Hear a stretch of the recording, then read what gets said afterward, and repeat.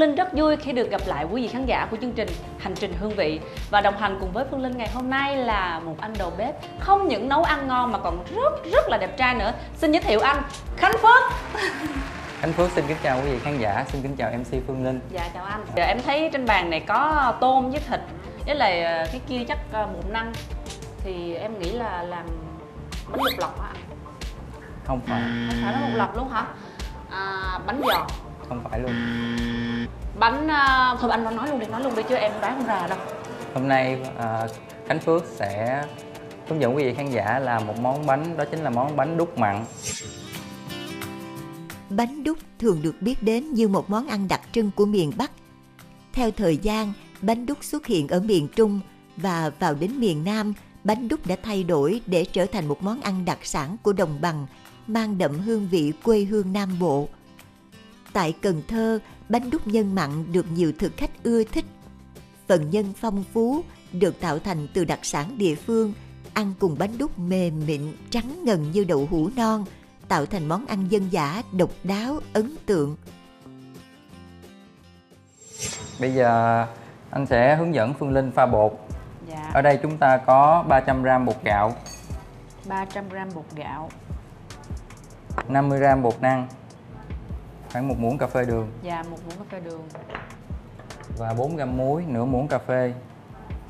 Phương Linh giúp anh khuấy đều phần bột này lên nha. dạ Sau khi trộn đều phần bột á, chúng ta từ từ cho phần nước cốt dừa này vào.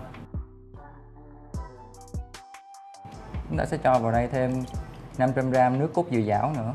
Phương Linh khuấy bột xong, Phương Linh để bột cho nghỉ khoảng 15 phút để cho Dạ. bột nó tan đều. Bây giờ Phương Linh sẽ giúp anh cắt phần cà rốt và củ sắn này ra nhé. dạ em cắt hạt lựu hả Đúng vậy. Dạ. Tôm chúng ta lột vỏ xong, chúng ta sẽ bắt đầu cắt hạt lựu. Tiếp theo chúng ta sẽ ướp thịt và phần tôm này. Chúng ta cho vào đây là nửa muỗng cà phê hạt nêm. 1 phần tư muỗng cà phê muối và một chút xíu đường. Tương tự như thịt chúng ta cũng ướp vào đây là nửa muỗng cà phê hạt nêm, 1 phần tư muỗng cà phê muối. Và một chút xíu đường. Sau đó chúng ta trộn đều lên. anh Phước ơi tại sao mình không ướp chung mà mình lại ướp phần thịt riêng và phần tôm riêng vậy anh? Chút nữa mà khi mà chúng ta xào á chúng ta sẽ cho vô lần theo thứ tự chúng ta sẽ cho vô thịt xào trước và tôm xào sau. Thì như vậy tôm chúng ta sẽ không bị teo và khô dai và bây giờ chúng ta sẽ tiếp tục công đoạn là rây bột vào chảo. Phương Linh giúp anh cầm cái rây nha. Dạ em giúp anh chứ. Ủa anh ơi là mình bỏ phần bột lên sau là mình nấu luôn ha. Anh đúng vậy chúng ta sẽ nấu cho bột chín khoảng 80 phần trăm. Dạ.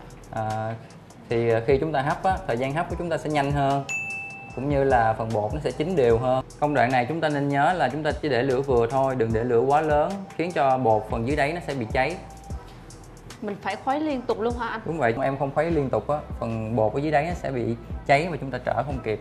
Dạ. Khi mà bột của chúng ta đã sánh lại như rồi chúng ta tắt bếp. Chúng ta lấy chảo ra ngoài chúng ta vẫn tiếp tục khuấy. Cho phần bột nó đều lại với nhau. Phương Dạ, Linh giúp anh á, lấy cọ thao ít dầu vào khuôn để khi mà chúng ta hấp á, bánh nó sẽ không bị dính.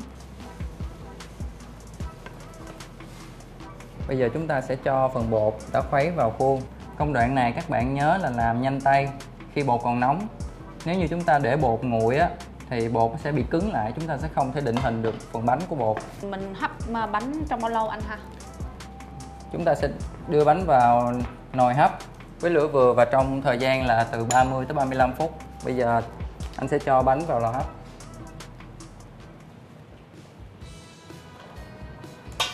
Trong lúc chờ bánh của chúng ta chín thì chúng ta sẽ tiếp tục là chúng ta sẽ xử lý phần tôm khô này. Chúng ta sẽ dùng phần dao chúng ta cán tôm khô ra để tôm khô nát ra.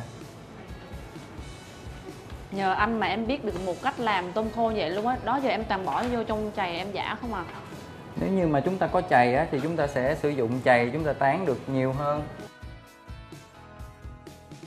Sau khi chúng ta sơ chế xong phần tôm khô chúng ta sẽ bắt đầu xào làm chín phần nhân.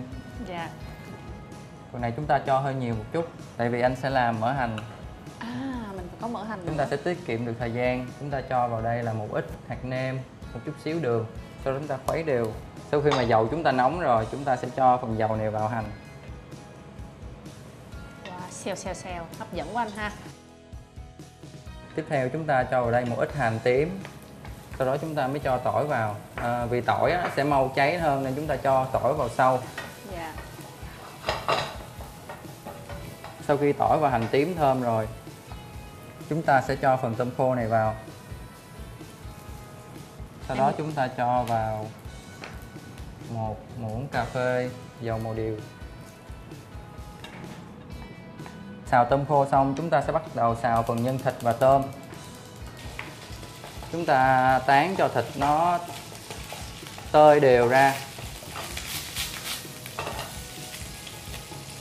tiếp đến chúng ta sẽ cho phần củ sắn và cà rốt cùng nấm mèo vào.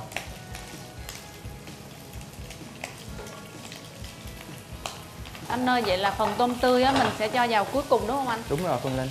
Tôm tươi chúng ta sẽ cho vào cuối cùng để giữ hương vị và độ tươi của tôm.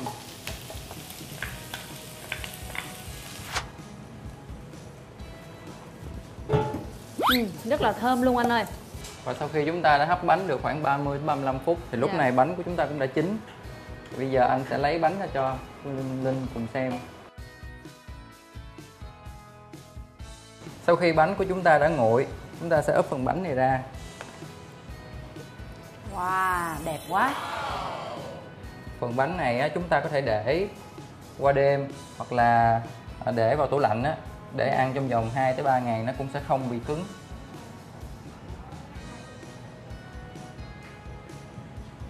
món bánh đúc mặn này thì mình sẽ ăn với sốt hay là loại nước chấm nào vậy? À, món bánh đúc mặn này chúng ta sẽ ăn kèm với nước mắm chua ngọt. Dạ.